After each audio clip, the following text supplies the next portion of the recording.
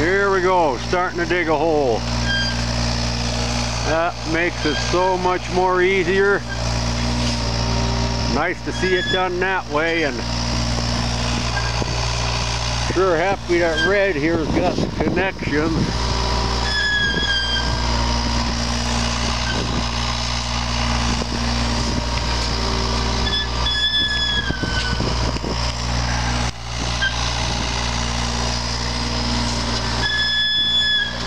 Yeah, he's got three, four scoops right there.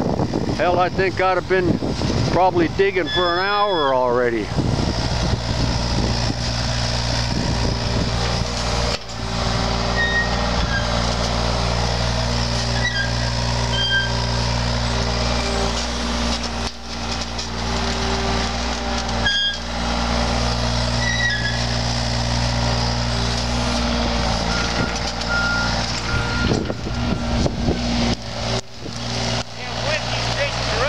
Yeah.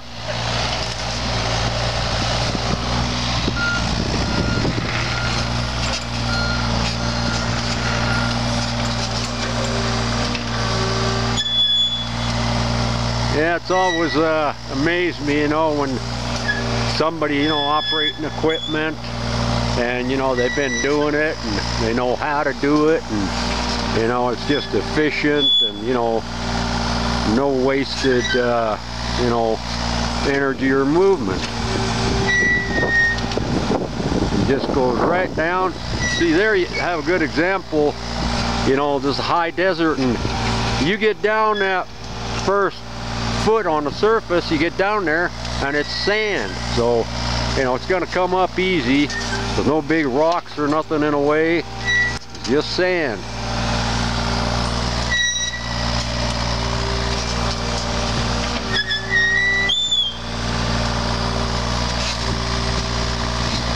Yeah, it'll make it real handy to burn all this stuff. Because I'll be burning on it for, you know, intermittently. It's not going to all burn one day. Burn some, you know, and then come back to it, you know, next day or could be off and on for, you know, a few weeks, especially after I drop down and get some more limbs from cutting trees down.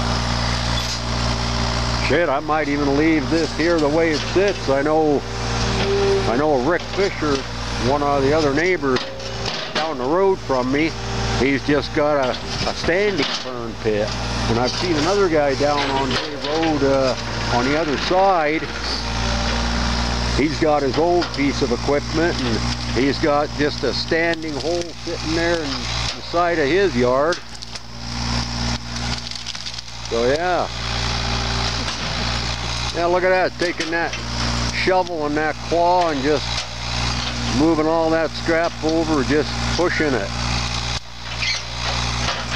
I didn't have that, that last little tree popped out of there, I didn't have that on the video, but he just got the bucket and the claw on there and he just, he just pulled it out of the ground. Root ball and everything. just came right up.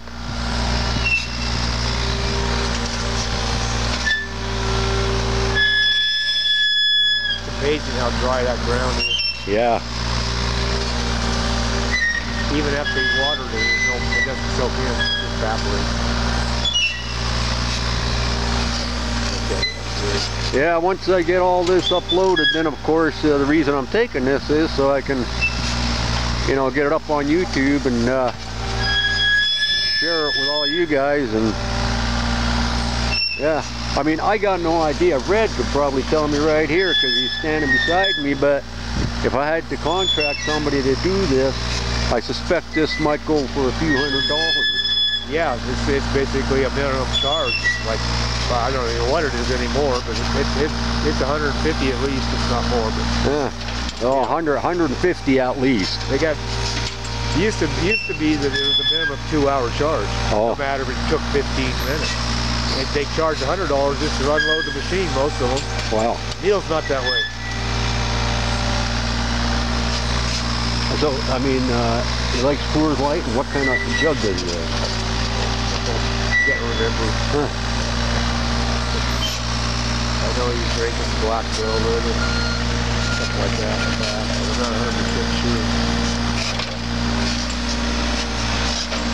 Make it, make it real easy. Just put half gallon of vodka. Wife will have drink it too. oh, I shouldn't have said that.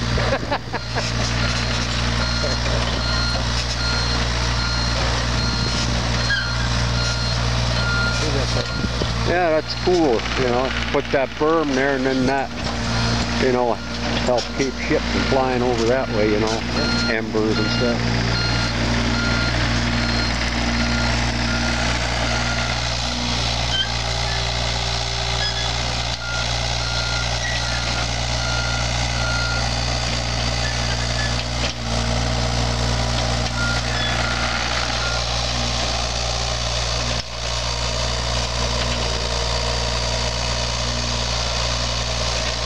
Must be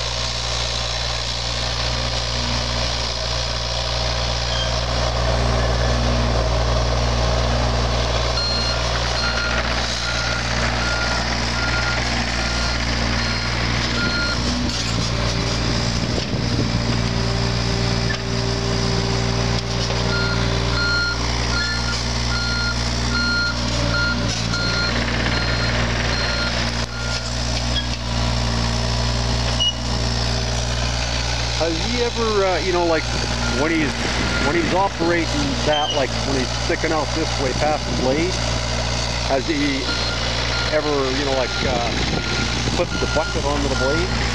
You know, when he goes down and comes up. Um, no, not really. Sometimes.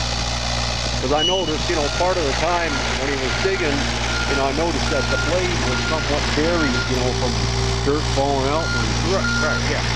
Just for stability. You got much front there. yeah. That stuff's pretty light. It's got the seeds got good weight on the bottom, so know, unless you're digging or picking up something really heavy that way, it's not going to go anywhere.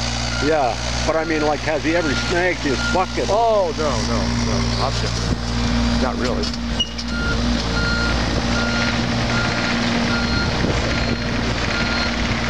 Little lawn care. Yeah.